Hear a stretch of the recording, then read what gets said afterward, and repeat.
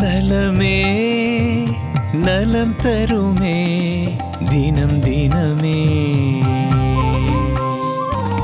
மனமே மலர்ந்திடுமே குணம் பெருமே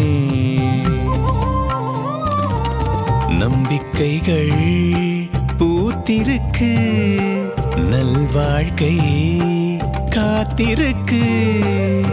இனிமேல் சுகம் சுகமே நலமே நலம் தருமே தினம் தினம் பிரசன்ன ஆத்மேந்திரிய மனகா association with Sri Varma, Kerala Ayurveda and Horticulture. நண்பர்கள் தோழர்கள் நலம் விரும்பிகள் மற்றும் உலகெங்கும் உள்ள தமிழ் உள்ளங்களுக்கு உங்களுடைய வெல்லஸ் குருஜியுடைய அன்பான வணக்கங்கள்.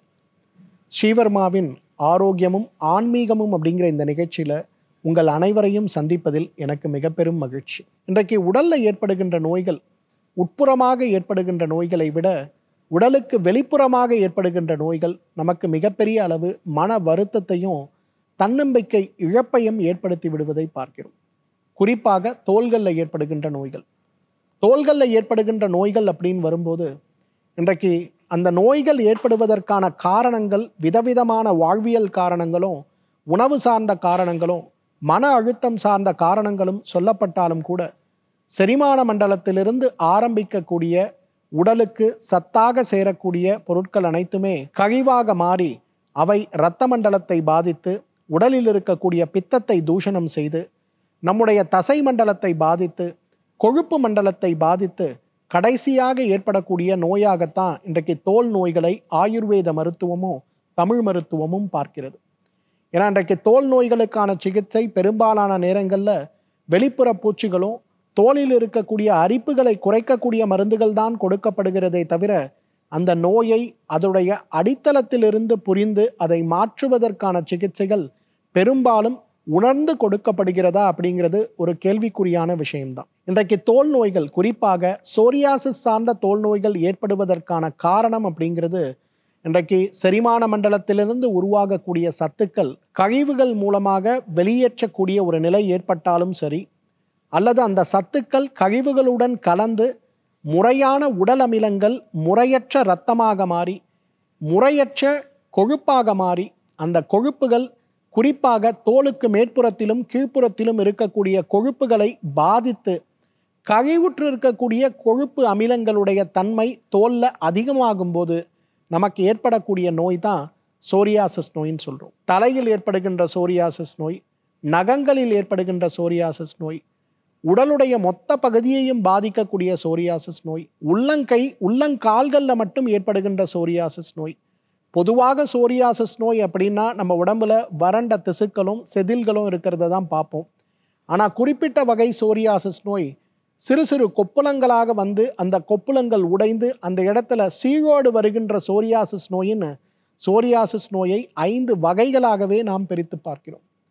சாதாரணமாக ஒரு இடத்தில் ஒரு குண்டூசி புள்ளியைப் போல ஏற்பட்ட நோய் கொஞ்சம் கொஞ்சமாக பெருகி சில நேரங்களில் அரிப்புகளும் பெரும்பாலான நேரங்களில் அரிப்பு இல்லாத தன்மையும் தோல் வறட்சி தோலிலிருந்து செதில் உதிர்தல் அந்த இடத்தில் இருக்கக்கூடிய செதிலை பிரித்தால் மட்டும்தான் நமக்கு மனசாந்தி ஏற்படுங்கிற அளவுக்கு நம்ம உடம்புல எல்லா நேரமும் தோலை சுரண்டி கொண்டிருக்கக்கூடிய ஒரு நிலையை உருவாக்கி விடுவதை தான் நம்ம சோரியாசிஸ் நோயின்னு சொல்கிறோம் ஆண் பெண் குழந்தைகள் வயதானவர்கள்ங்கிற மாற்றம் இல்லாமல் எல்லோருக்கும் வரக்கூடிய நோயாகவே இந்த சோரியாசிஸ் நோய் இருக்கிறத பார்க்குறோம். சோரியாசிஸ் நோய்க்காக நாம் எடுக்கக்கூடிய தீர்வுங்கிறது வெறும் மருந்துகள் சார்ந்த தீர்வாக இல்லாமல் நம்முடைய உடலில் இருக்கக்கூடிய பித்தத்தையும் கொழுப்பாக உடலில் இருக்கக்கூடிய கபத்துடைய சீற்றத்தையும் குறைப்பதற்கு கபத்தையும் பித்தத்தையும் குறைப்பதற்கான முறையான ஒரு வாழ்வியல் மாற்றம். அதைவிட முக்கியமாக இந்த நோய்க்கான சிகிச்சை தோலிலிருந்து ஆரம்பிப்பதற்கு பதிலாக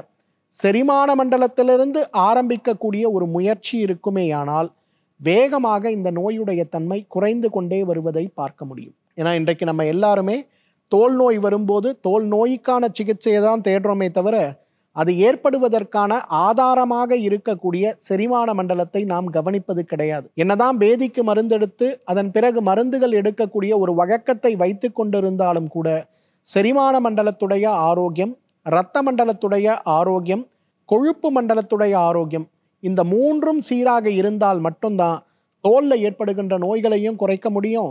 குறிப்பாக சோரியாசிஸ் நோயையும் நம்ம மாற்ற முடியும்.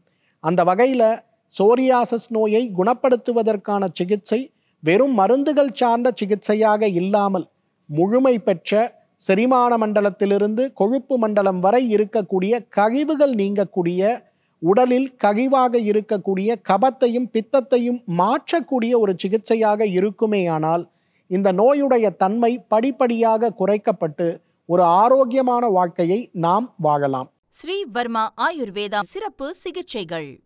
அல்சர் செரிமான கோளாறுகள்.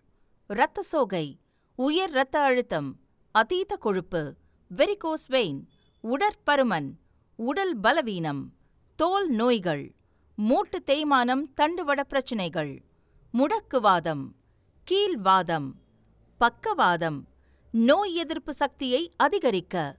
புற்றுநோய் மூலம் பௌத்திரம் மாதவிடாய் கோளாறுகள் குழந்தையின்மை பாலின கோளாறுகள். சிறுநீரக கல். சிறுநீரக செயலிழப்பு. நீரிழிவு நோய். கொழுப்பு கல்லீரல். இதய நோய்கள். தைராய்டு.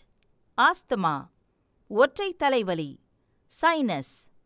ஞாபக மறதி மன அழுத்தம். முடி உதிர்தல். மற்றும் வாத பித்த கப நோய்களிலிருந்து விடுபட்டு ஆயுள் முழுவதும் ஆரோக்கியம் பெற்றிட.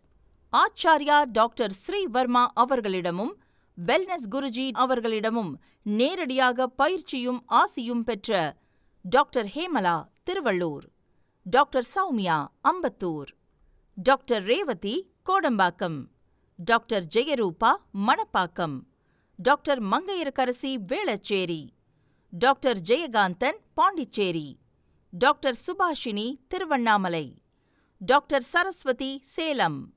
Doctor Sharmila Trichy.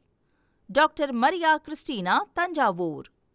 Doctor Malathi Coimbatore. Doctor Lalitha Madurai. Doctor Jebashin Nagercoil. Hosur doctor Sandhya. Doctor Amrutha Bangalore. Doctor Navneet Hyderabad. Doctor Siddharth Mumbai.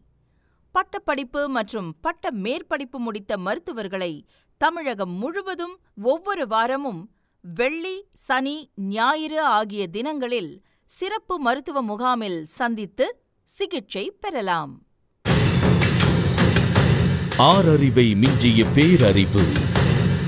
யாகமின்றி யோகம் தரும் யோகக்கலை. ஒழுங்கற்ற உணவிற்கு ஆரோக்கியமே விலை. அதற்கு உணவையே மருந்தாக்குவது ஒரு கலை. இயற்கை அன்னை நம் மீது கொண்ட நேசம். இனி நம் இல்லங்களில் வீசப்போகிறது மூலிகையின் வாசம்.